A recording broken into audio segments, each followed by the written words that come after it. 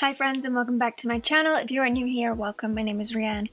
Today's video is one I've been putting off for a long time and you have been very patient about, so thank you. I'm going to be talking about my favorite perfumes. I have 10 vegan and cruelty-free, or at least cruelty-free and these are vegan, brands to show you.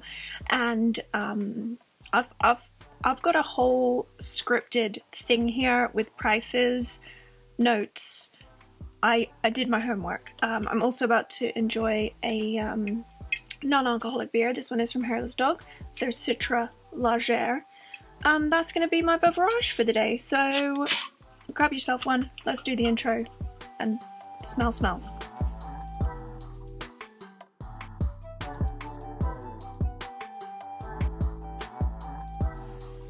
Alright, so as always, everything I'm mentioning will be linked and listed in the description box down below. If there's anything else you want to ask, I will meet you in the comments.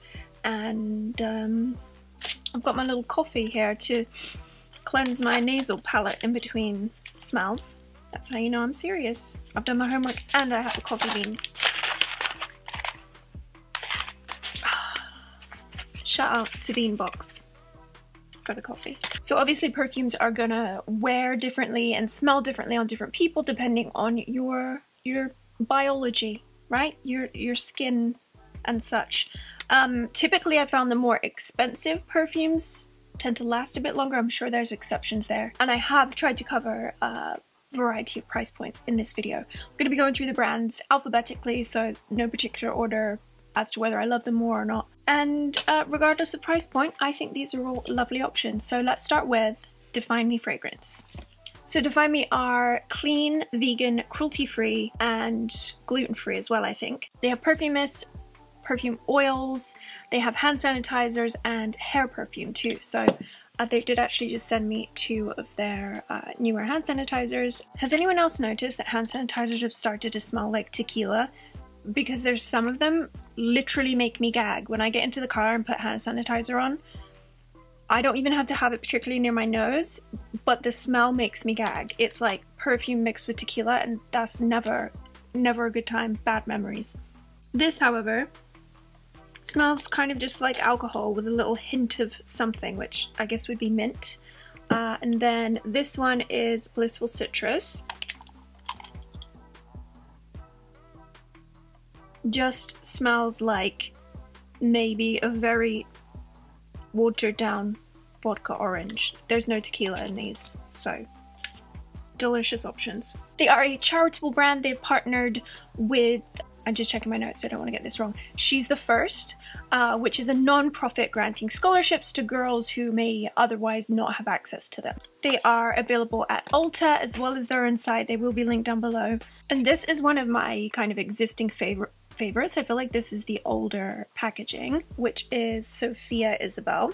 These do sell for $68, which I think they're beautiful perfumes. I do think for that price, maybe the packaging could do with a little upgrade. I do have one of the newer products here, so we will look at that. And this one is Mandarin, Tangerine, Blackcurrant, Jasmine, Vanilla, and Sugar. Mmm delightful. And then let's dig into this new one, which is called Kahana. This one is hibiscus, pink pepper, coconut water, white orchid. It says Santa, but that's not right. What have I misspelled? Santal. and soft blonde woods. So this is the newer packaging. It's very pretty, but I just think for the price, and this is just my taste, it could look a little more, um, I don't know, a little more chic, I suppose. Any that are new, I'm just going to spray in the box so I can somewhat contain and separate the smells. That is very fresh and nice. More of a springy summer smell, I would say. Kind of like a light, fresh, soft floral. Nothing heavy or, um, you know. If you are put off by the price point, but you want to try uh, any of the scents, they do have these smaller mists, which I usually like to travel with, keep one in my bag, one in the car and um, it's a spray too. Sometimes I really don't like that the smaller sizes are often roller balls because there's just something about a spray that I enjoy more so that is a nice option if you do want to try any of the scents before committing to the bigger size. Um, just remember this is the older packaging. It really kind of works, hey? Coffee magic. Moving on, this is a brand that I've only just become familiar with, which is Good Chemistry. I had seen them in Target the last time I was actually in a store, and then I spoke with them to try and you know, decipher as to whether they were cruelty-free and vegan, and they they are. So Good Chemistry are paraben and propylene glycol free. They're vegan, cruelty-free, and they do use essential oils. Like I said, these are new to me, so I don't have like a ton of experience with them. They have body sprays, which are $9.99, the perfumes, which are uh, $24.99, and then roller balls, which are $12.99. So a little bit of a lower price point. Um, and they do have a lot of scent, so you should be able to find something to suit you. Mm, this was good when I can remember. It's almost like a little spicy, but fresh. Dragon fruit magnolia and sugared vanilla. Very cute packaging, very simple, uh, kind of as you'd expect for that price point. Mmm, so good. Very light, fruity, smells a bit fizzy, if you know what I mean. Beautiful delicious, like mouth-watering fruity. Next is Queen Bee. This is blackcurrant peony and amber, which um, that appeals to me. It's funny because I feel like I really don't stick to just one scent, um, but there are definitely things that I sometimes see that I'm like, ooh, I'm gonna like that one. So Queen Bee really does smell like rich and she knows what she's what she's looking for. That one is delicious. Uh, vibrant and bold with a touch of sass. I would say that is accurate. Can't really say how uh, well these ones last. I do find that uh, Define Me does last very well on the skin, especially if you wanted to look at the fragrance oils. Uh, typically those are going to last a bit longer. Oh my gosh, I'm going to wear this one now. If you typically like similar scents to me, I think you are going to like this one. I did look for notes that I typically like, so that's why I like all of them. Um, I did my research, and they did send me these, so did Define Me. Next is Royal Rebel. This one is a roller bowl. Uh, pink pepper, golden amber, and musk. Roller bowls are a little harder to... Uh...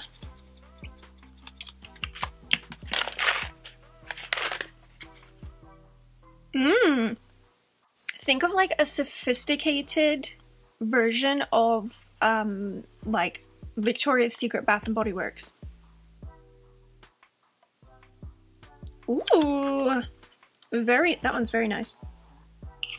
Amber I think is such a beautiful scent. I'm pretty sure that's what I'm picking up. Um, and then pink pepper I actually do really like in a lot of perfumes that I've had in the past. Just adds a little, little spice up in the air somewhere. And then lastly is another rollerball, which is Solar Jasmine. Um, what does she have? Oh, pineapple, peach blossom, and sandalwood. Studio is going to smell delicious after this. Mmm, very fresh. Um, oh, that's really nice. Again, a little bit fizzy. Um, the sandalwood is definitely there, but it's very light. And I think that like the floral and um, fruity Mmm, okay, super nice too. You typically just go for like a fresh kind of uplifting fragrance, I think you would like that one. Obviously I'm trying to move, oh, I forgot one. Tiger Lily, which came in a different package. This one is orange flower, vanilla, and amber. What was the other amber one? Blackcurrant peony and amber. See, I think amber is like a round smell or like a spherical smell. But then it does have a kind of fruity, sparkly thing, which I guess would be the orange flower, and then vanilla, which I think vanilla is a round smell too. Can't explain.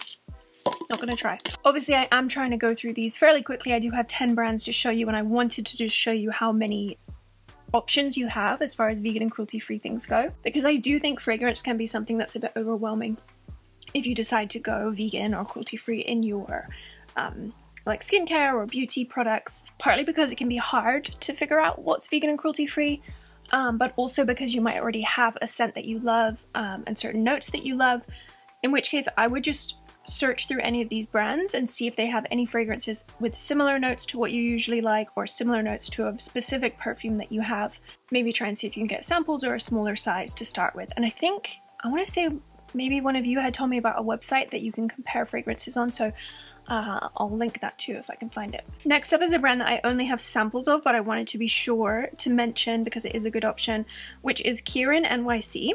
They are vegan, cruelty-free, and genderless. Uh, those are their words. Uh, obviously, if any of these perfumes have notes that you like, regardless of your gender, pick them up. The full sizes of these are beautiful uh, and they're $84, so you're going to probably want to get a sample set first before you commit to that. I think my favorite of these was Sunday Brunch, and I think if I'm right, this one was like the Earl Grey spicy smell. Italian bergamot, lemon, Earl Grey, tea, and jasmine. Delicious. This one smells very, uh, like, there's some nostalgia here for me. I don't know if it maybe smells like something but that tea definitely adds an interesting scent. So uh, might be a brand worth looking into. Next up is Korres. Now, this uh, Bellflower Tangerine and Pink Pepper was a favorite from them, which they no longer sell. I don't know how old this is, probably a little old. And I can't I can't find this exact one, but they do have one called Bellflower, which has similar notes, and I believe they are vegan. And we'll try and find out and clarify for you in the uh, description box fruity, a little uh, kick from that pink pepper.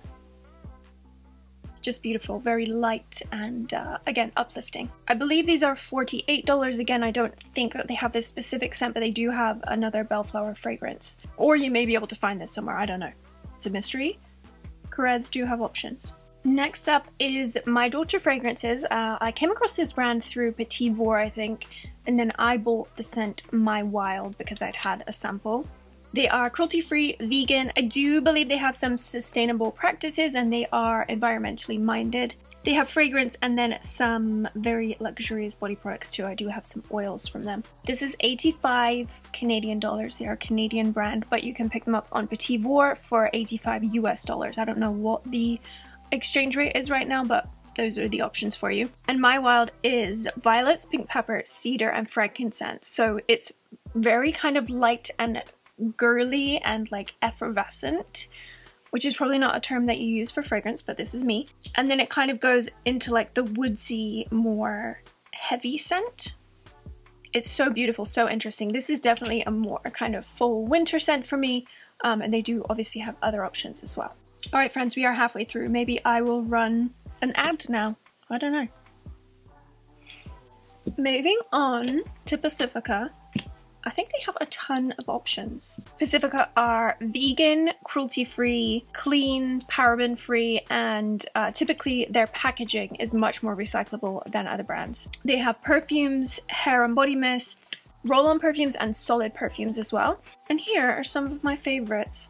Uh, Tomboy Vibes. It is orange flower and cannabis. I'm gonna have to so yummy. It does have this slight floral scent, but then it's also like a little green, green, you know what I mean? I guess that would be the cannabis. Delicious scent. This is probably my favorite of like this style of perfume that they have. This is one of the hair and body mists, which is hardcore happy, uh, and that is vanilla coconut. That's kind of like a scent I always associate with Pacifica. Yeah, smells like the beach. And then these two uh, are new releases from them, which they have like a moon range. Uh, so they sent Flower Moon, which is jasmine, peach, and vanilla, and then Dream Moon, which is patchouli, sandalwood, and pink rose. Oh, prices. 22, 14, uh, and then these are 22 as well. Cute new packaging. Mmm. Okay, that's really delicious and fruity and round. Mmm. And then Dream Moon. This one is a little he heavier. I will say Pacifica are very good at making patchouli scents enjoyable. Um, patchouli, sandalwood, and pink rose. That one is a little bit stronger, um, but obviously I'm sniffing off of cardboard as well. Moving on to Pinrose. Uh, this is a brand that I've enjoyed for a really long time. This is kind of like one of the more traditional um, like luxury perfumes that I came across that was vegan and cruelty free. So I have a few of their scents here. They're clean. I think they use sustainable packaging, vegan and cruelty free. And then the perfumes are 77. The travel sizes are 27 and then the sample sets are 25. They also have candles, which are 49. So again, definitely on that kind of like slightly more luxury price range. So I brought a few of my favorite scents that I often reach for. One is Little Dipper. This one is lemon peel, peony, and sandalwood. It's such a like pretty smell. Very fresh. Oh, it's just beautiful. Then there's Mystical Misfit, which is red currant, pink rose, and patchouli.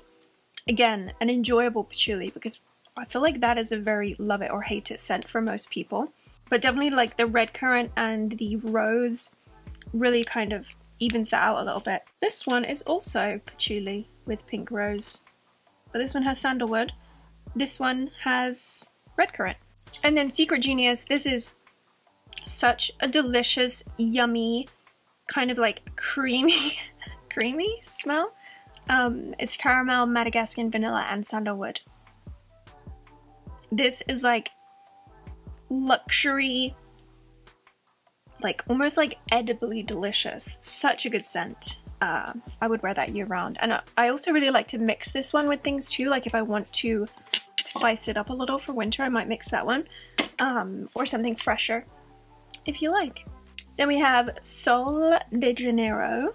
Um, I I asked you on Instagram to teach me how to say Cheirosa, Okay, but for a start, I'm British, which makes everything embarrassing to say. Um, but then there needed to be some rolling of the R, which I find very hard because uh, I have my tongue pierced and it just doesn't cooperate. So, Cheirosa, Cheirosa, Cheirosa?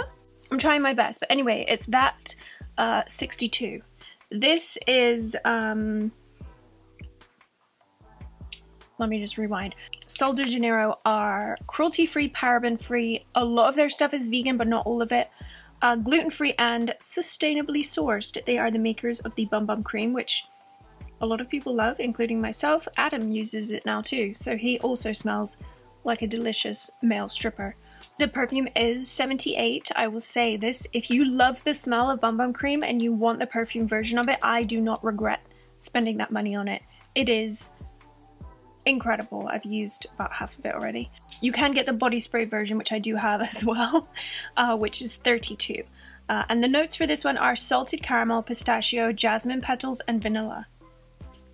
Again, very like a delicious, delicious smell. It smells a bit like summer, but I've been I was wearing it through the whole winter too.